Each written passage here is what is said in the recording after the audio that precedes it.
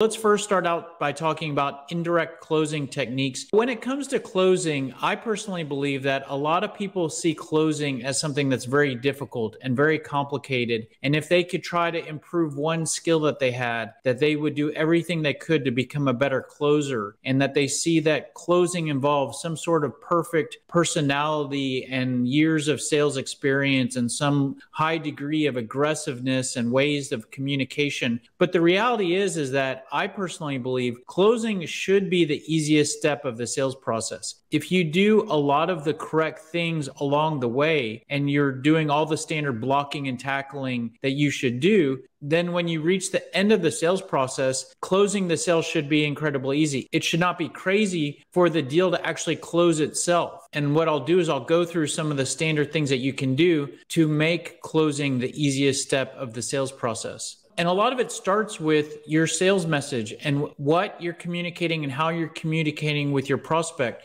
So, like I've said before, if you are a product selling salesperson and you're going out there, this is who I work for, this is what I sell, this is what it does. Do you need what I sell? Then you're going to make prospects very guarded. And if you try to sell to everybody, then of course you're going to be trying to close prospects that don't fit with what you sell, and closing will be extremely difficult. But if you use more of a consultative selling approach where you're communicating how you can help and you're looking for prospects that have the problems that you can help to fix, and you're asking good questions to learn about the prospects, to identify which prospects need the help that you have to offer, and avoiding the prospects that don't need your product. And you're talking about your product in a very clear way. And these are the prospects that are easier to close. And this is how closing can become easier. And so, a big part of what I just talked about there is the step of qualifying prospects, which is asking those questions, asking questions to qualify prospects to separate the good from bad so that you're not trying to close those bad prospects. If you're trying to sell something to someone that doesn't need what you sell or can't buy what you sell,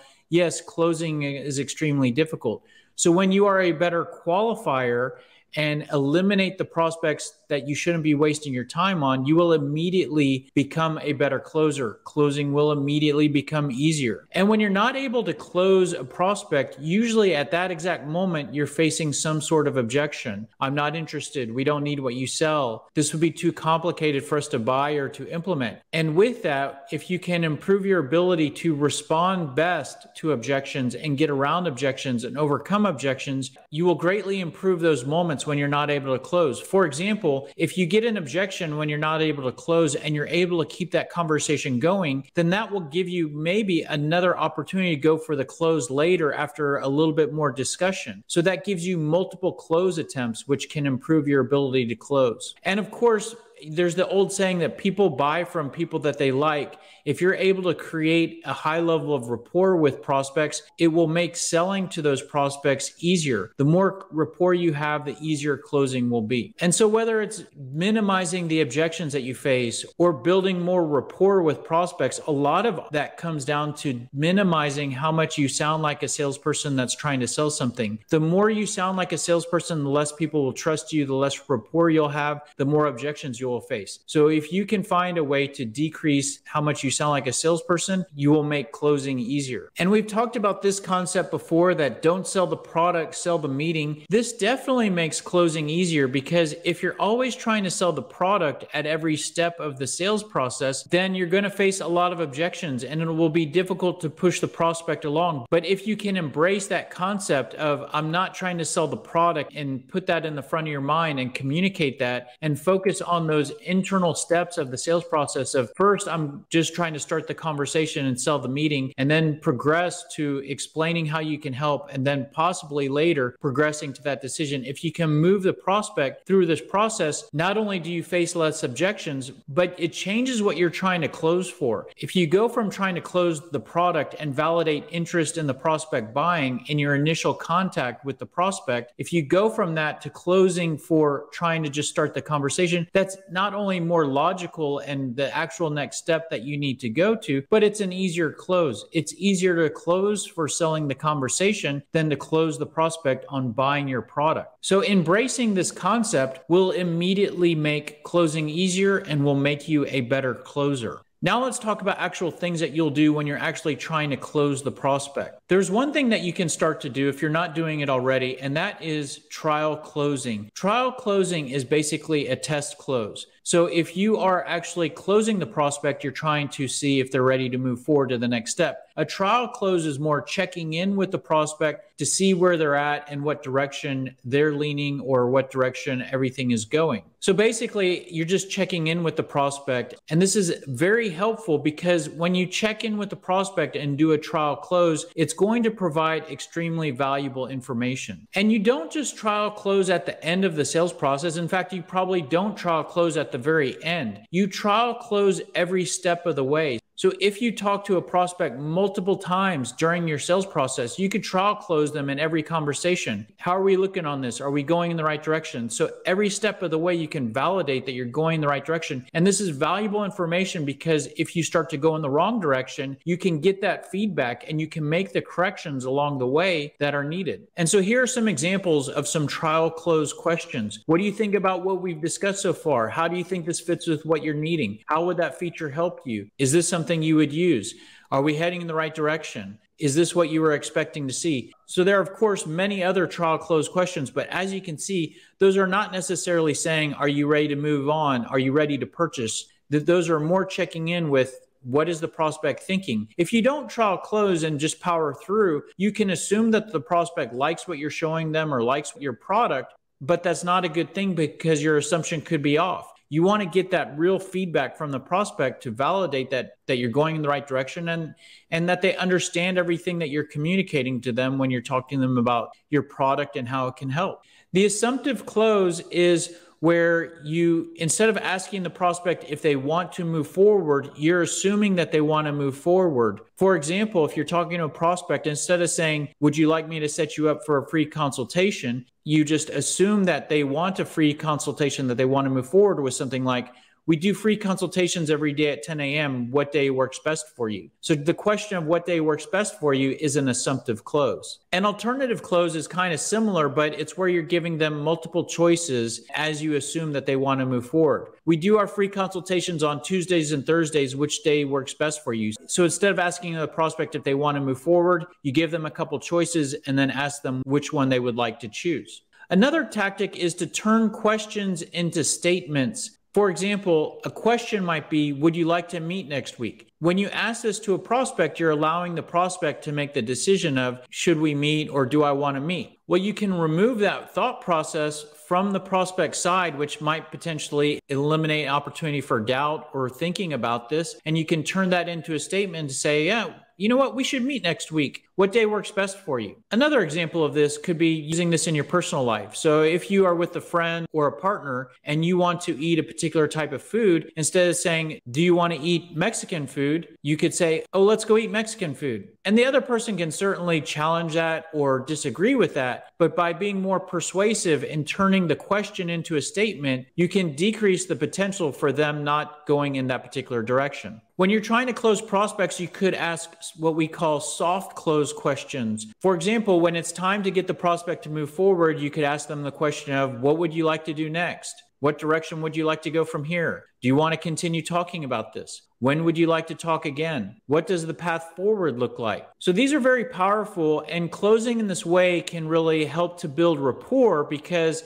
instead of being pushy and pushing the prospect along, you're allowing the prospect to decide what direction to go. So it can help to build rapport. Also, when the prospect makes the decision to move to a presentation or move to move forward with the decision, you can know that you did not push them along, that that was their decision. So it's a more qualified opportunity instead of someone that you pushed along, maybe with an assumptive close. So it's a more qualified prospect with this scenario. But here's a caveat you need to do a lot of the other standard blocking and tackling before you use a soft close. For example, you need to do a good job at building interest and communicating how you help and doing this with qualified prospects that need what you sell. Because, for example, if you do this with a prospect that you haven't built interest yet and you say, What would you like to do next? Then a thing that they might say is, I don't want to do anything next. So you need to be in a comfortable position when you use the soft close If you aren't there, or if you just want to be a little bit more firm in your close, you can certainly use hard close questions. For example, are you ready to move forward to the next step in the process? And you tell them what that is. That would be a presentation or a demonstration or a contract or a signature. What would you need to be able to make a commitment to move forward? If you have everything that you want, are you prepared to move forward? So, this is a good question. A lot of times prospects say, Oh, your price is too high or your product doesn't do this. Well, a good thing to ask is, Okay,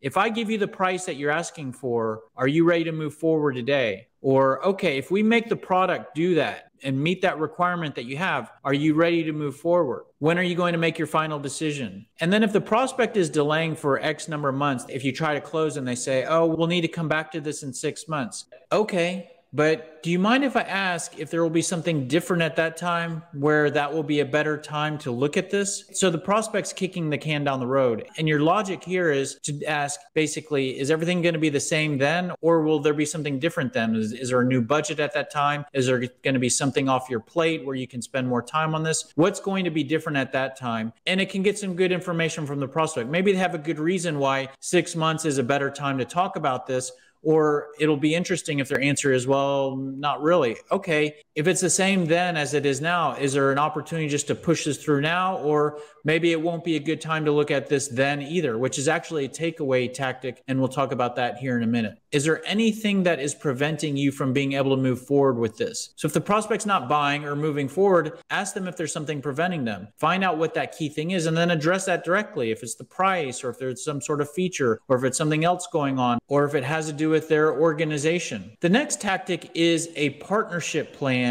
And this is basically at the most basic level, this is a table. It's a table with rows and columns. And what you put in this table is for each row is a task, a task that needs to be completed between today when you're presenting this to a prospect and them either purchasing your product or them going live on your product if there's some sort of implementation. So this is kind of like a to-do list. Not only you, but also the prospect needs to do between today and everything being complete. And you can list that out step by step. You could put a due date for each step and you could put an owner for each task. Some of those owners might be on your side as the salesperson and some of the owners might be on the prospect side. And then you can put a status for each. And what you can do is you can present this partnership plan at a strategic moment to the prospect. For example, you could present this at the end of your presentation, or you could present this when you're delivering your proposal. And you can present this to the prospect and get them to agree to this with some language like this. If you'd like to keep moving forward, this is what our partnership plan looks like. These are some of the steps that need to be taken between now and you getting up and running. Based on what we've discussed today, are you interested in moving forward with this plan? So, what you're basically closing for here is not necessarily the purchase at this exact moment, you're closing them on agreeing with the plan. And at this point, you either might get their complete buy in or they might not be able to commit to the full plan. So, if they're not able to commit to the full plan, your fallback position is to just close for the next step. So if you can see this example plan, where we're at today when I'm presenting this to a prospect is at the end of my demonstration, and you can see it's marked as complete. The next step is a discovery meeting. So what I can do after I present this is close the prospect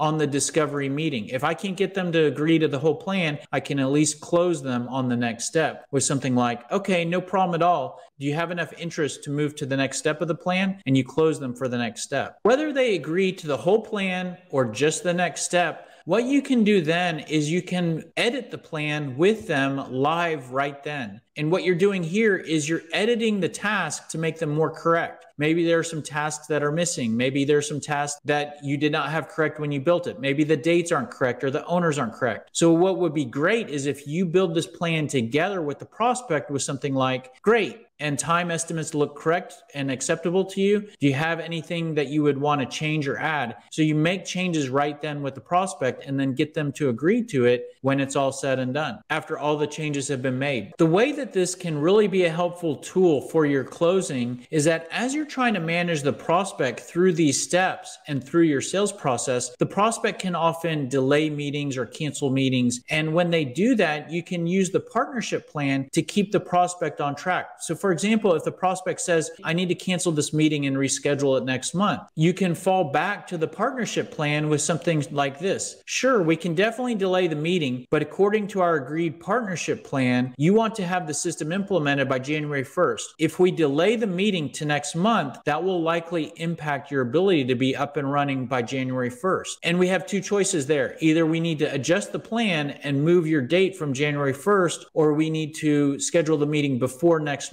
month. We need to schedule it next week or move quicker on the rescheduling of that meeting. So which would you like to do? So here the prospect is trying to delay things and you're using the partnership plan to keep the prospect in line. And that can be a tool you can use to continue to manage the prospect throughout the remainder of your sales process and sales cycle. Another tactic is to find a compelling event. So a compelling event is some sort of event on the prospect side that you can use to pressure them to keep moving forward or to move forward with the purchase. For example, you could have a natural compelling event on the prospect side, which could be a contract expiring. If you sell something that replaces something that the prospect currently uses and their current contract is expiring, that expiration date is a compelling event. And you can use that to manage the prospect along when they try to delay meetings or if they're or if they try to delay the purchasing of your product. So an expiring contract is definitely a compelling event, something very compelling on the prospect side. If the prospect is opening new buildings buildings, opening new sites, or moving, that's a very significant event. And you can use that event to manage the sales process and improve your ability to close. If the prospect is using something today that you would be replacing and that current product they're using is being discontinued on a certain date or the contract or warranty is expiring, that's a very compelling event. So finding out these days can really help you to be a better closer because you can use that date to manage the process and as a closing tactic at certain points. Now, it could be very likely that you try to ask questions looking for a compelling event and can't find one, well, you can manufacture a compelling event by, for example, creating a discount with an expiration date. If you provide a discount that expires at the end of the month, even knowing you know that you could probably give that discount again next month, the end of the month becomes a compelling event. There's pressure on the prospect to purchase by that date. So you can use that to improve your ability to close the prospect. So could be an expiring discount, it could be an expiring promotion. You could talk about how there's limited product availability. So the prospect, so what you sell is very limited and scarce, and the prospect should move more quickly. And you can use that to motivate the prospect to move forward because if they wait, the product might not be available. So these are ways to manufacture compelling events. And whether it's manufactured or natural, finding a compelling event and using that strategically when you're trying to close the prospect can improve your ability to close. The next tactic is something we've talked about a little bit, and now I want to drill into it in more detail, and that is the sales takeaway. If you think about what most salespeople do is they try to say stuff and perform actions to get the prospect to move forward. The sales takeaway is basically the exact opposite of that. The opposite of trying to get the prospect to move forward. It's saying something that basically does not try to get the prospect to move forward. An example of this might be to express doubt in the fit or justification in moving forward. So typically, if you're a salesperson, you're saying something in the direction of, you need this, you'll love this, I can't wait to show you this. And so that's saying stuff to get the prospect interested and move forward. A takeaway would be saying something like, oh, you know, it might not be a fit for you, or maybe this isn't the right time for you. And so that's the opposite of trying to get the prospect to move forward. And the reality is, is that this is an extremely powerful tactic to use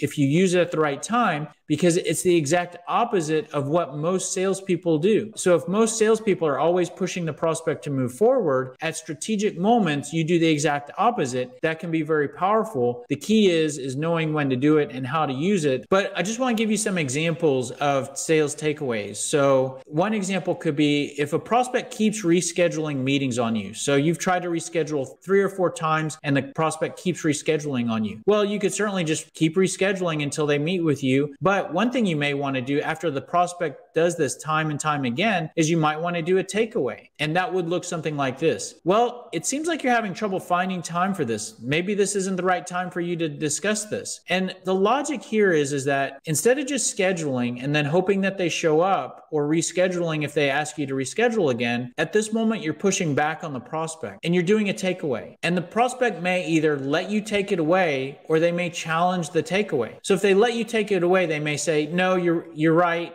I just don't have time to this and I'm just wasting your time. So let's get together next year or next month or whatever. And so what the takeaway did right there is it saved you time from dealing with them, wasting your time, wasting their time because they just don't have time for you. And the takeaway allowed that to come to light. But if the takeaway is incorrect, the prospect may challenge it to say something like, no, no, no, no, no. This is extremely important because our current system is expiring. We need to find a replacement. So I need to talk to you. I've just been extremely busy. You have my full attention in the next meeting. Let's get it on the calendar. So what the takeaway did there is it corrected the direction. It brought the prospect more engaged and the takeaway helped to improve the direction and momentum. And that's how it can help. Another example is if the prospect is on the fence, meaning they're not buying, but they're not also walking away. They're just in the middle and, and kind of in an idle position. And so this is a great moment to do the takeaway with something like, it seems like you're having trouble figuring out what direction to go. Maybe this isn't a good fit for you. So certainly the prospect is on the fence and they're not able to move forward. So if they're not able to move forward for good reasons, then the takeaway may help bring that to light and you push back on them by saying, hey, maybe this isn't a good fit for you, they may say, no, you're right. I'm just too stressed and it's just too much right now. And I just don't have the money for this purchase. So it's probably not the right fit. And the takeaway helped bring that to light. And, and that's probably a good thing. That was probably a customer that you shouldn't sell your product to. But if you do the takeaway and it is a good fit, they're just, you know, kind of needing a little push along. If you say, maybe this isn't a good fit for you, they may say, no, no, no, no, no, I do need it. I'm just overthinking it. Let's do it. Let's move forward. And in that case, the takeaway helped to create momentum and get things moving forward. You may come across prospects where things are pretty good, where they may be a little bit interested in what you have to sell. But if things are pretty good, they may have trouble spending money on your product. So with these prospects, you could end up wasting time doing demonstrations. But at the end of the day, when it's time to spend money, they can't get it approved because things are pretty good. And you might want to do a takeaway when you see that with something like, well, it sounds like you guys have done a pretty good job of putting all the right pieces in place, maybe it doesn't make sense for us to spend too much time on this. So if things are pretty good and the prospect has all the right pieces in place, the takeaway may bring to light that they don't really need what you sell and you might save everybody time and they might respond with something like, "Eh, you know, you're probably right. I like your product, but at the end of the day I probably couldn't get the funding approved." And what you did there is you just saved everybody time. Or the takeaway may identify information that you didn't already know. So they may say, no, no, no, we do have a lot of the right pieces in place, but we're missing this one piece, and that's how your product helps.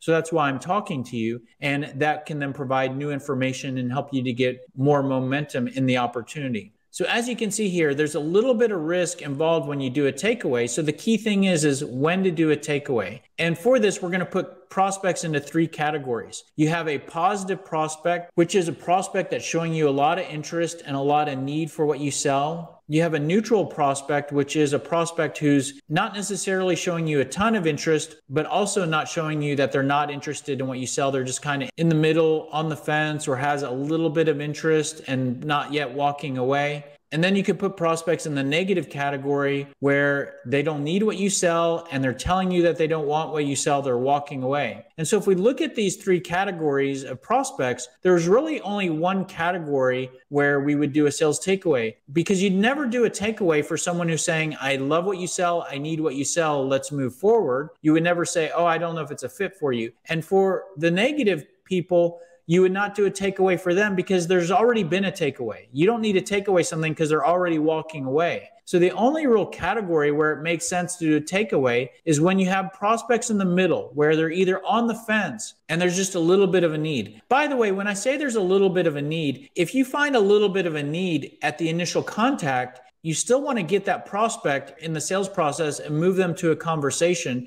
You wouldn't want to do a takeaway at the initial contact. It's in that conversation or the explanation where you've learned more about them and you've identified that there's just only a little bit of a need or only a little bit of interest and you can't qualify them fully. Then it's at that point that you would do the takeaway. So it's for more neutral prospects that have ended up in the middle of your sales process where you would do a sales takeaway. And while it might seem risky to do the sales takeaway, it's actually not all that risky because you could potentially save yourself a lot of time by doing a takeaway to prospects that end up going away that you could have wasted a lot of time on. Now, there's three potential reactions that you can anticipate when you do a sales takeaway. First, the prospect could have no reaction. The prospect could confirm the disqualification, meaning you do a takeaway that's saying it, it might not be a fit, and they say, You're right, it's not and they go away. Or the prospect challenges the disqualification. Now, when you see the level of risk in doing the takeaway, you see it with the second potential reaction, which is you're talking to a prospect, you're scheduling a meeting with them, you're talking with them, you do a takeaway, and then they go away and you lose that lead because they confirm the disqualification, and you could see that as a loss. But the reality is, is that if you do the takeaway with the right prospects at the right time and they confirm the disqualification and go away, you've actually just saved yourself a lot of time. So it's not a risk if you do it at the right time with the right prospects. And if three happens, the prospect challenges the disqualification to say, no, no, no, you're wrong because of this. You need to listen very closely because a lot of times when the prospect challenges the disqualification, they're going to provide new information that you might not know as the reasoning why it makes sense to keep moving forward. This is a really powerful thing that happens. Not only do you increase the momentum and the opportunity and can correct the direction of the opportunity, but at this point, the prospect actually begins to sell you. When the prospect challenges the disqualification, they sell you on why it makes sense to move forward instead of you selling them on moving forward with your product. So it's a really powerful thing that can happen. Why the takeaway can be so powerful is it can help to improve rapport. When you're doing the same thing that all other salespeople are doing, which is pushing the prospect to move forward, you can seem very normal and like a normal salesperson trying to sell something. When you do a takeaway, you're going to seem different. You're going to seem more genuine, more credible, more trustable, and that you care more about the prospect's interest than your own interest of just closing the sale. And this can help to improve rapport. It can help to improve your credibility because you can seem more trustable because you care about the prospect's best interest. It can improve your quality of leads because all those prospects that agree with your takeaway and go away, those are probably low quality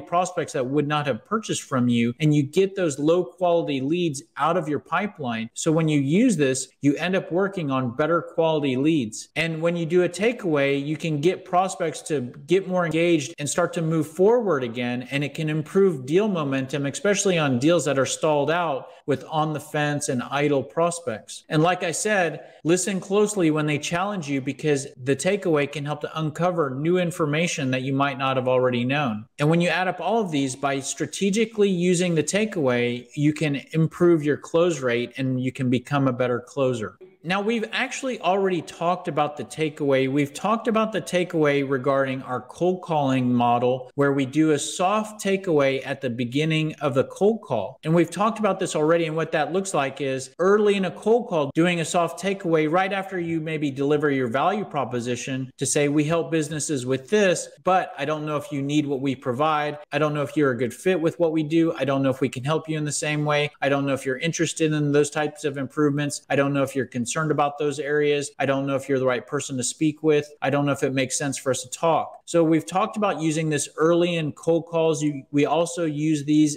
in email messages. So these are what we call the soft takeaways. So instead of saying maybe this isn't the right fit for you, or maybe it doesn't make sense to keep moving forward, this is a softer version of that where right after we say something very powerful about how we can help, we do a soft takeaway to say, but I don't know if that, that's a fit for you, or I don't know if you're interested in that. So these are soft takeaways that you can again use in your cold emails, use in your cold calling calling. I actually use soft takeaways when I'm talking to people at different moments where before I'm going to show them something. So I might say something like, I'm going to show you something here. I don't know if this is the type of thing that you've ever looked at. And then I show them. So a lot of times, right before I show something, unveil something, talk about something, I will introduce it. And then right before I show it or talk about it, I will do a soft takeaway. So it might look something like, Hey, I have a great idea for dinner. I don't know if you've ever done this before. And then I share that. So So it's a way to kind of create a little curiosity, decrease the guardedness, decrease the level of pushiness on what I'm trying to show them. So I use the soft takeaway at all different moments, but again, you can use these types of takeaways in your cold calling and cold email. Okay, so that's pretty much it. A few key takeaways. Doing the other things right will make closing easier. In other words, all the other things that we've talked about before this training on closing will have already made you a better closer. For example, having a good sales message will make closing easier. Screening and qualifying prospects immediately makes closing easier. Improving objection handling will improve your close rate. Focusing on the sales process and closing on the right goal will make you a better closer. Trial close every step of the way and strategically use the sales takeaway when appropriate. Okay, so that's the module on closing. The next module, we will talk about presentations and how to deliver and organize your presentations. If this has been helpful to you, and if you've at least found one tip in this training module and you want to return the favor, very easy for you to do. Simply like, comment, share this video, subscribe to our channel. Any or all of those help us tremendously, and none of those cost you anything. That's interesting, but you're still not sure what direction to go. You may want to check out my book, The Smart Sales System Sell Smarter, Not Harder, and you can get that on Amazon here. That's pretty much it. If you want more information on anything, if you want more tips, the best place to go is salesscripter.com. On our blog,